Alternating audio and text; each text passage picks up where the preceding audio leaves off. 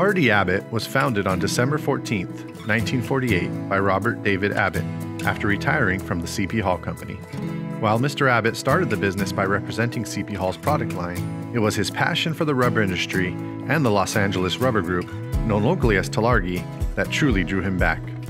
To support the booming industry, he later teamed up with fellow Tullargians to develop a rubber technology curriculum at the University of Southern California. Unfortunately, Mr. Abbott passed away during its inaugural year in 1958. When USC discontinued the curriculum in the 80s, Tullargy modified its content into a basic rubber technology course.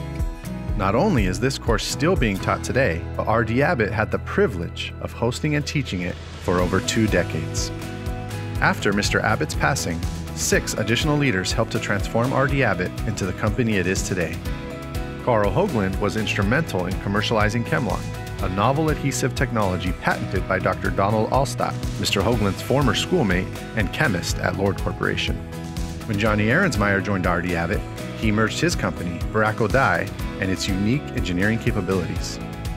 Mr. Ahrensmeyer extended ownership to Bob and Eloise Batts, two longtime employees. Bob was instrumental in growing sales for the company, and Eloise was the heart of office operations. In the 90s, Jerry Wicker expanded R.D. Abbott's product lines to include dispersions, additives, modifiers, colors, and fillers.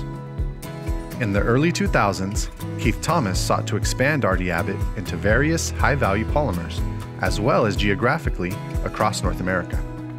In 2017, R.D. Abbott took another big step in purchasing Novation Solutions, an Ohio based dispersions manufacturer. Today, R.D. Abbott is accelerating into a multifaceted supplier that innovates across distribution, material science, process engineering, and product customization.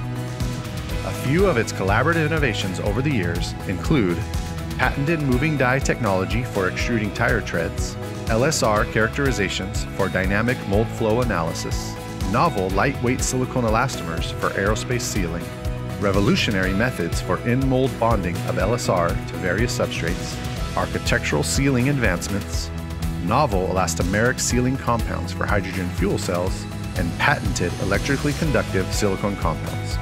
While R.D. Abbott is continuously adapting and evolving, there are a few attributes the company hopes will never change, such as maintaining the best team in the rubber industry by putting people ahead of profit, providing a diverse portfolio of premium elastomer products, providing exceptional technical, engineering, and customer support, helping to develop the next generation of rubber professionals, and giving back to the rubber community at large. Here's to 75 more years of applied curiosity.